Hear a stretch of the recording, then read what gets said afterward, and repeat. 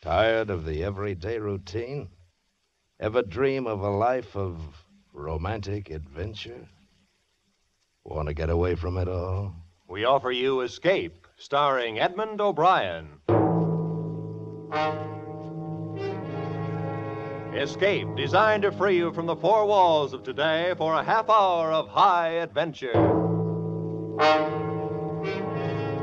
You are trapped in a remote valley in the Andes, walled in by sheer rock precipices, and surrounding you, closing in on you, is a band of blind men who want your eyes.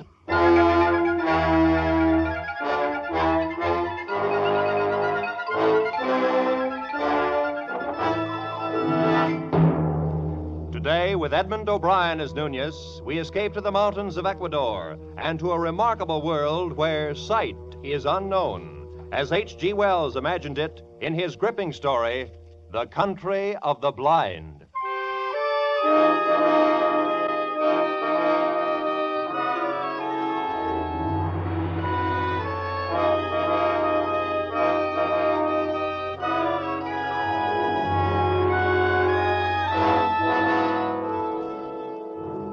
My name is Ibarra. I'm a mining engineer in Quito, Ecuador, high in the towering Andes. Up until a year ago, my chief sport was mountain climbing. My last climb was an attempt to scale the remote and forbidding peak of Parascotopetl, a 20,000 foot crag unconquered by man. It is unconquered still. 3,000 feet from the icy summit, we turned back and fled for our lives. All of us escaped except one, a guide named Nunez who slipped over the frightful precipice and disappeared in the vast chasm yawning 10,000 feet beneath us. The horror of that man's fall has terrorized my dreams for a year. Because of it, I've forsaken mountain climbing for the rest of my life. And that decision still stands, even though today I have seen Nunez. He was sitting on the steps at my shack when I arrived at the mine this morning. At first, I didn't recognize him. He was so much changed. I thought he was some ragged beggar. Is it you, Senor Ibarra? My name is Ibarra, yes. What do you want? You. you do not know me, senor? Well, no, I. Well, you look like a man I knew once, but he's. he's. He's dead. Dead on the slopes of Parascotopetl? Nunez. Nunez. That is my name, senor. At least, that is the name I remember. But, but you fell. I saw you Yes. fall. It's impossible that you could have lived. Perhaps the gods of the mountains had some reason to spare me. Nunez, i- i- if we'd had any idea that you were alive, but you went down, down thousands of feet. We couldn't even attempt to I find know. your body. I know. I do not blame you. You could not have reached me. And if you had, I, I should not have welcomed you. At first. But then, later, What do you mean? Senor, you will not believe what I have to tell. I can hardly believe I'm seeing you, talking to you. Tell me what happened to you. You remember that night? The night I fell? We had been toiling all day, inching our way up a steep ice wall. And as darkness came, we found a narrow ledge, barely three feet wide.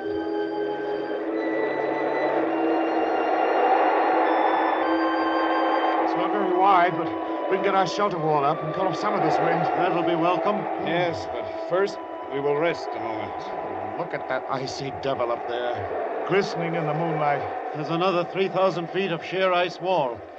We'll have to cut our own holes from now on. There won't even be ledges like this for resting places. I can see why no one's ever made it.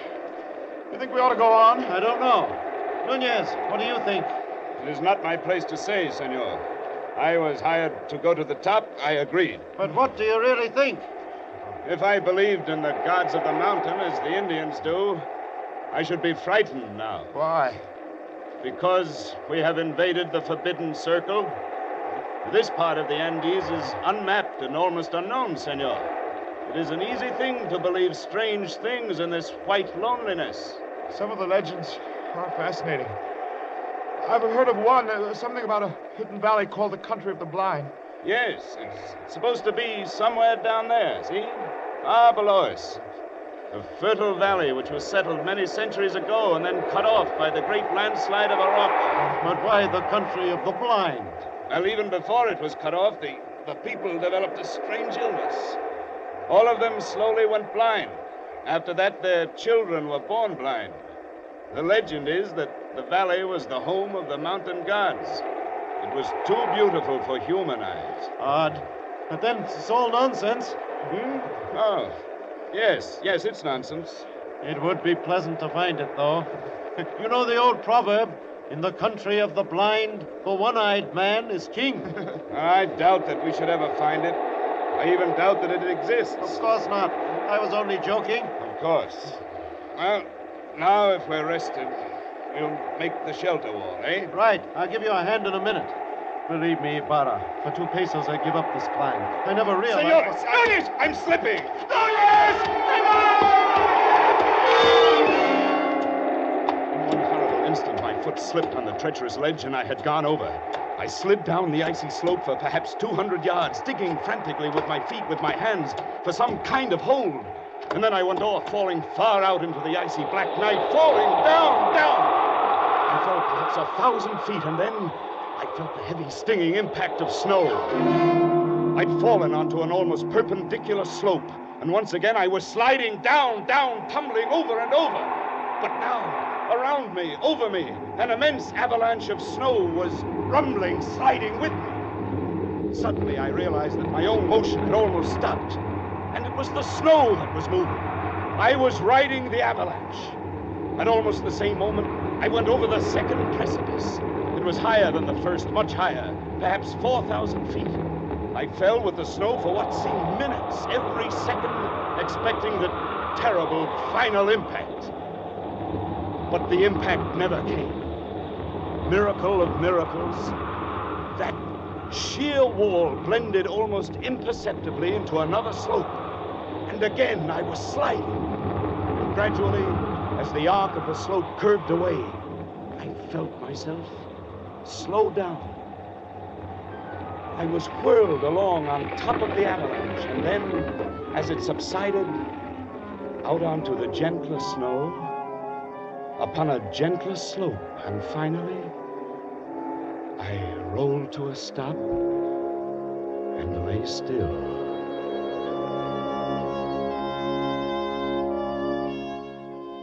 When I awoke, it was morning, and I was covered with snow. I shook off the cold white blanket, rolled over on my back, and looked up. My heart almost stopped as I saw from where I had fallen. The mountain towering eight, ten thousand feet above me. Carefully, I felt myself. My, my clothes were torn. I was bruised and bleeding. I ached in every muscle, but I had not broken a single bone. I lay there and offered up a prayer to the gods of the mountain.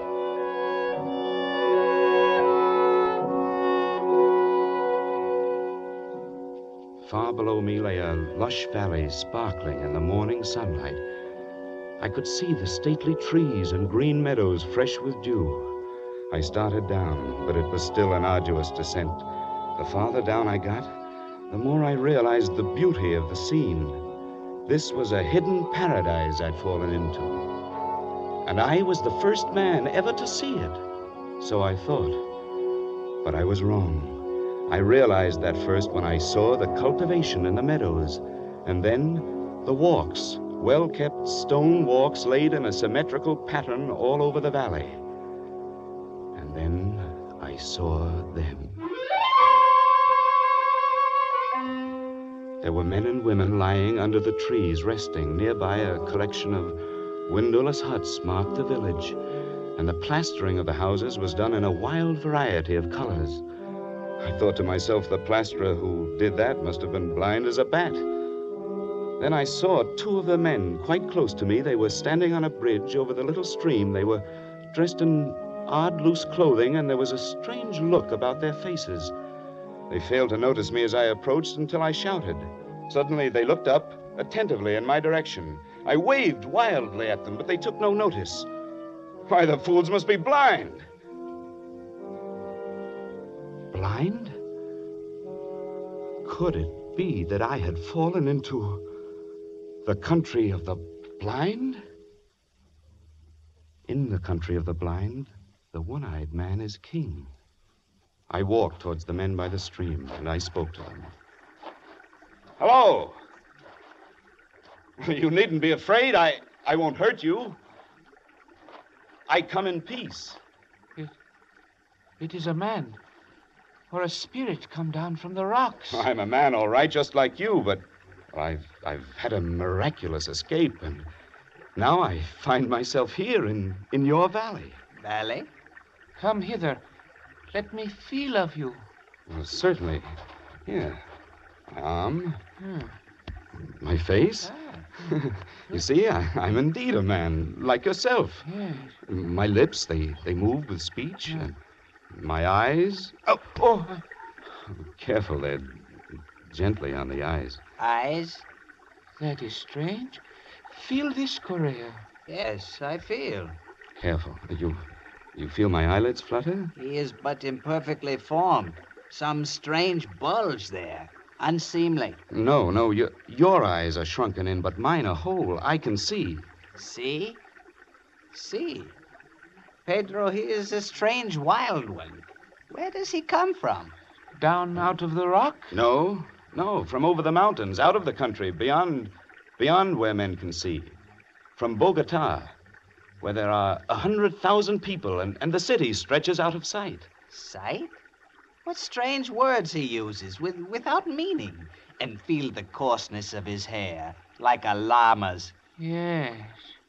And you have come into the world. Into. No, no, out of the world. The big world beyond the mountains. The world that stretches 12 days' journey to the sea. Our fathers have told us men may be made by forces of nature. It is the warmth of things and moisture and rottenness. Come, let us lead him to the elder. There's no need to lead me. I can see. See? Yes, of course. Oh. I didn't see a water bucket. His senses are still imperfect. He stumbles and talks meaningless words. Lead him by the hand. But look, I. well. All right.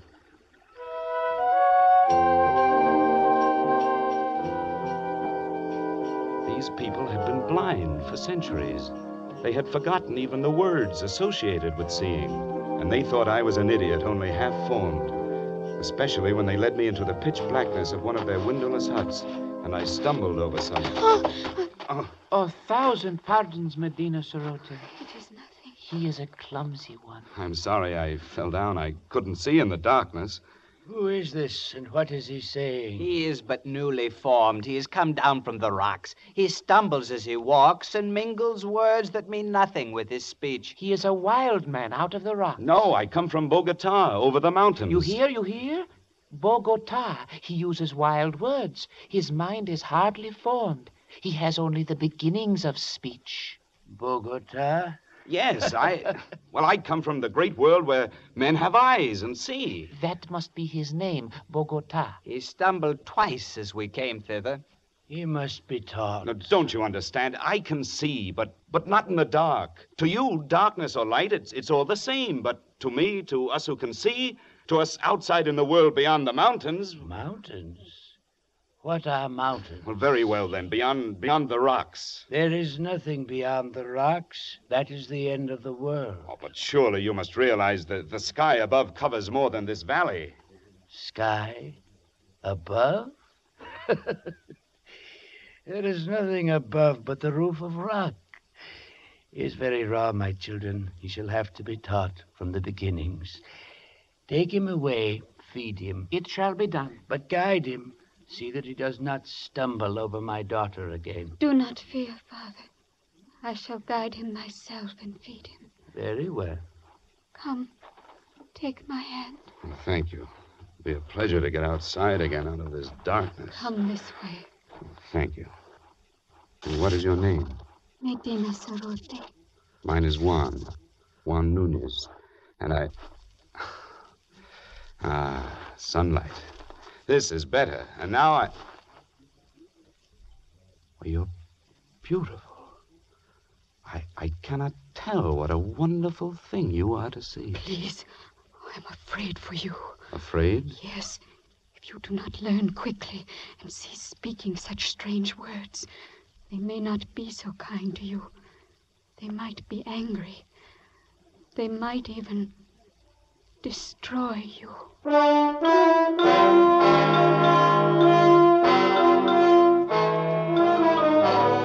This thought had not occurred to me before, and suddenly I had a twinge of fear. Still, the proverb kept running through my mind. In the country of the blind, a one eyed man is king. But try as I would, I could not make them understand my wonderful gift of sight. They simply could not comprehend it. Worse, they were not impressed. They thought me stupid and untaught, almost an idiot. Day by day, I learned their peaceful ways, but they could not learn mine. It was getting on my nerves, and theirs too, perhaps. Bogota? Bogota, come hither. Bogota, you move not. No, and I won't, you old beetle. I'll show you. I'll leave the path. Bogota, trample not on the grass. It is not allowed. Well, how did you know I stepped on the grass? I heard, of course. Heard? But I didn't make a sound. Why do you not come when I call you? Can you not hear the path as you walk? I can see it. There is no such word as see. Cease this folly and follow the sound of my feet. My time will come. You will learn. There is much to learn in the world. Has no one ever told you, in the country of the blind, the one eyed man is king? Blind? What is blind? Oh, never mind. Go on. Bogota, I must warn you. Just keep quiet and learn. And stop this nonsense about seeing. Nonsense, is it? Well, I'll show you. I've taken enough of your insults. Unformed mind, got no sense yet. I'll be king here. I can see and I'll be king. Bogota, stop it. No. No, I'm through with your orders. I'll show you what an advantage sight can be. I can hit you, hurt you, and you can't see me to strike back. Bogota, there must be no violence. You must come peacefully. By heaven, I'll hit you if you come any closer. I swear I will. Bogota, put down that spade and come off the grass. You don't understand. You're blind, and I can see. I can see. Now, Bogota, you must not do I'll it. hurt you. I swear. Leave me alone.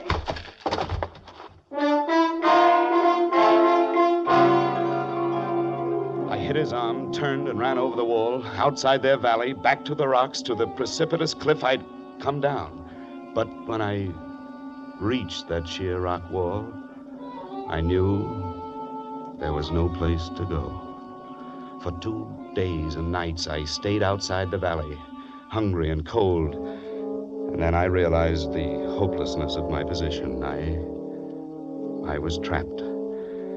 I must spend the rest of my life here.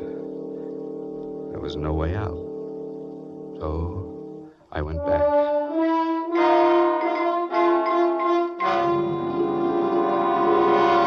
Confess I was mad. I admit I, I'm only newly made.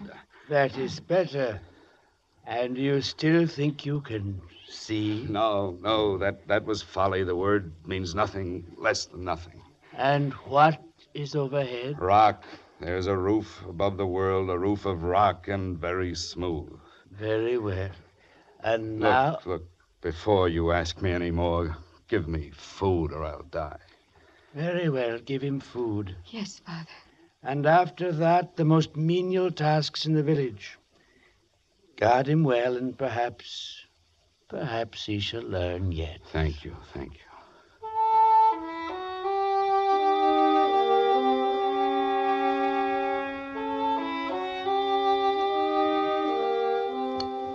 Ah, that's better. You're kind, Medina Sarota, very kind. I am glad you came back. You are? if they were all like you, I should never have run away.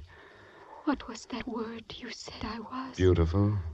It means something nice. Something very nice. Medina Sarota, why is it you have no husband? I have a disfigurement. These long hairs, Your eyelashes? But they're beautiful. they're considered a disfigurement. Why, you're the loveliest girl in the valley. But they wouldn't know, would they? And so you have no lover. No. Medina Sarota, what do you think of me? Do you think of me as an idiot like all the rest? Oh, no. You have much to learn, but you will learn it, I'm sure. And you are kind and gentle, and your voice is soft. You speak the words that are soft and warm. No one has ever spoken such words to me. I shall speak them often, Medina Sarota. You are the only one in this valley, in this world, I care for.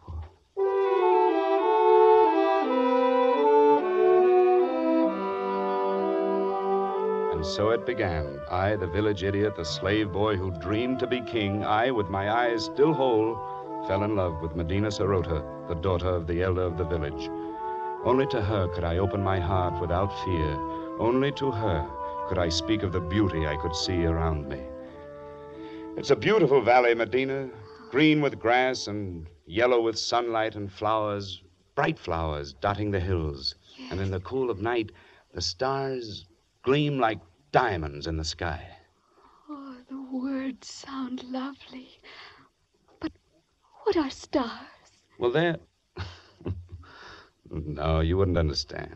And what do you mean in the cool of the night? You still get that confused one. The night is warm. The day is cool. No, no, it's you here who have them backwards, because the darkness means nothing to you, so you work in the cool of night and sleep in the heat of day, but. You are teasing me. No, no, I'm not. Oh, what does it matter? All that matters is you. You here beside me. Medina Sarota. I love you. And I love you. I I know they still think me an idiot, but you you listen to what I say and you don't think me an idiot, do you? Oh, oh I like to hear you speak. Then will you will you marry me? I would be very happy.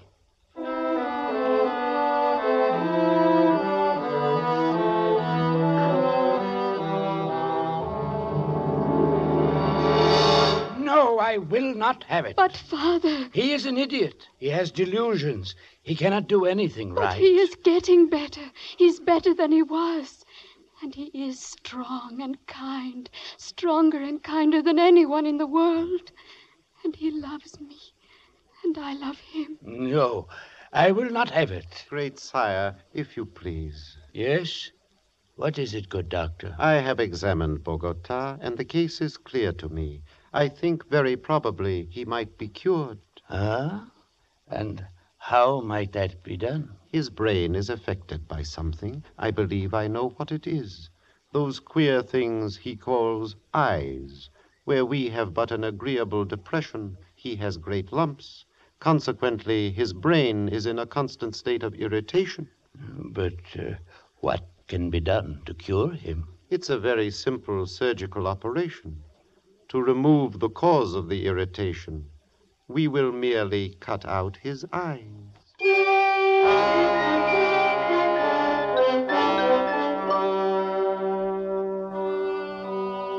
But they say it will make you well. You don't understand, Medina Sarota. My my world is sight.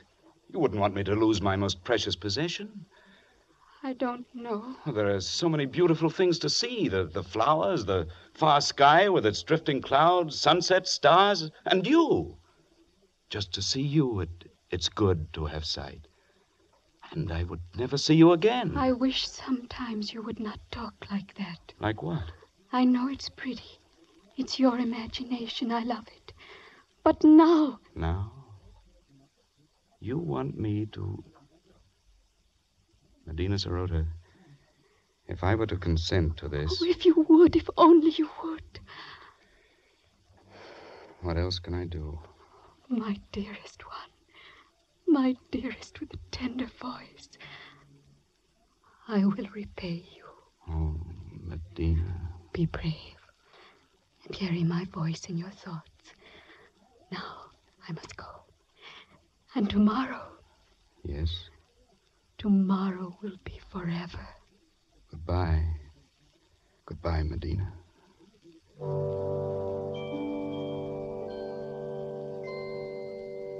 I suppose I knew it then when I said that. I only meant to go up on the rocks and look out over the valley, to spend my last day feasting my eyes on the wonderful, beautiful world of light and color.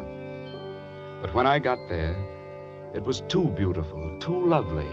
This valley, this home of the mountain gods, beautiful and forbidden. I drank it in the green of the fields, the blue of the gently curving stream, the orange of the lichen and the rocky crevices. Then I climbed higher to see the great snow capped peaks towering above and away to the distant sky, and higher as the shadows turned the snow to purple and crimson and deep blue. The valley was far below and as beautiful as a painting. But like a painting, it looked unreal. Medina Sarota was small and far away, a distant dream, and the world of sight was here here, all around, overpowering, wonderful. I turned and began to climb up that sheer rock wall.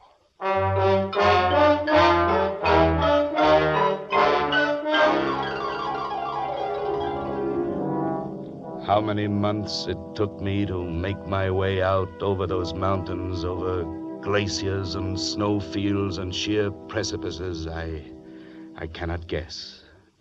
How I lived through the cold and the hunger of it, I, I cannot tell you. But I am here at last, back from the country of the blind. Good heavens, man. What an experience. Terrible and wonderful. But you, you're not sorry you came back. Sorry? I. I see her face clearly now. It, it's the only thing I see. Nunez, uh, come. You need food. Here, take my hand. Thank you. Where is it, Senor Ibarra? Nunez. Yes, yes, the gods of the mountains have had their revenge. Those months of crawling over the snow and ice with the sun glaring down, yes, I am blind.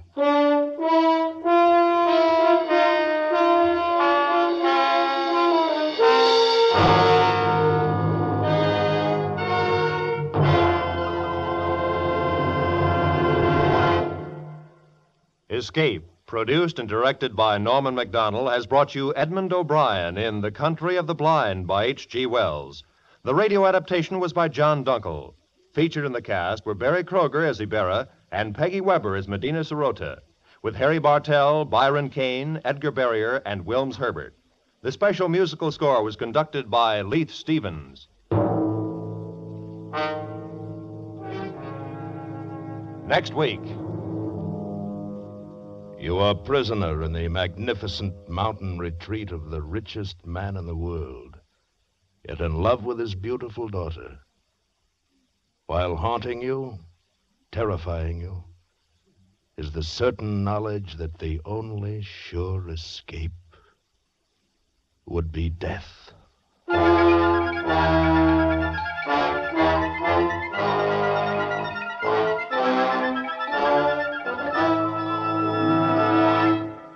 Next week, Escape with F. Scott Fitzgerald. Amazing story The Diamond as Big as the Ritz. Good night, then, until this same time next week, when once again CBS offers you Escape.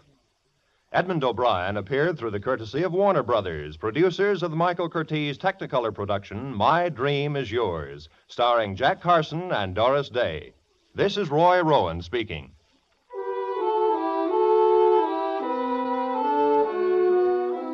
In just a few moments, the laughs start rolling on CBS's great Sunday night of stars. Within the next two hours, five of America's top comedians will unroll their newest wares Lum Abner, Amos and Andy, and Jack Benny. Nowhere else in radio will you find such superb and varied comedy as in this two hour period. Lum Abner and Amos and Andy will be heard over most of these same CBS network stations.